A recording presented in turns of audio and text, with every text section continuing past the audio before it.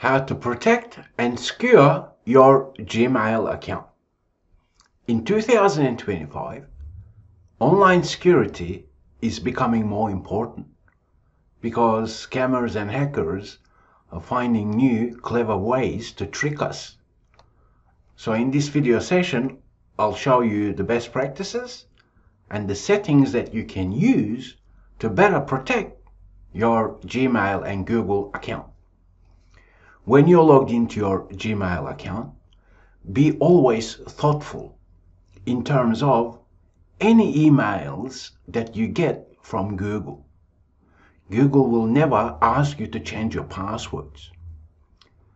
And if, let's say, you've gotten an email from a Google product saying that, you know, confirm something, change something, then instead of clicking on the link from a Gmail message, you can perhaps directly go to the Google product and manage your settings there. Because when you're logged into your Google account, you have access to all products from Google. So, you know, being aware of that is a great start. Also, when you're on any website, you can press on the the address bar and check the security. Connection is secure. You can press on that and double make sure that if you're using Google Chrome, for example, then you are on the right website that is secure. Then, to better protect your Gmail account, when you log into your Google account, you have new security features simply press on manage your Google account. Then the security tab, you can do security checkup to see if all is okay. If not, simply follow the prompts. Then you can check, as in review your security activity to find out which devices are signed in, where they are signed in from. Let's imagine this activity. I can press on and say, you know what, that doesn't look right. I can select, I don't recognize this device if I want, to. okay?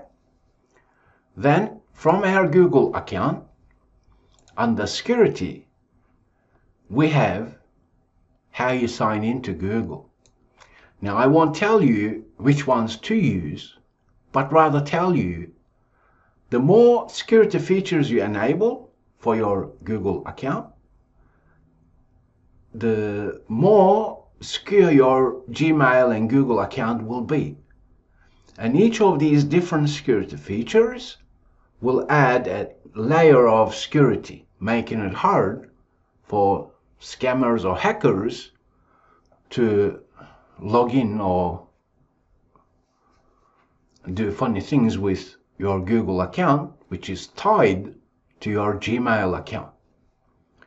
At minimum, have two-step verification on and make sure you're using a strong password. A rule of thumb is if you can remember your own password, that's probably not secure.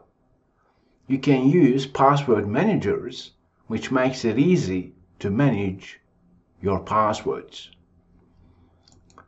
And also, there is an authenticator app you can download from Google Play Store. It's a free app from Google. Once again, it simply adds another layer of security. And I understand that at times, you know, using your Google account or Gmail account with an authenticator app may be cumbersome or annoying, but nonetheless, it provides a better security for our Google account, okay?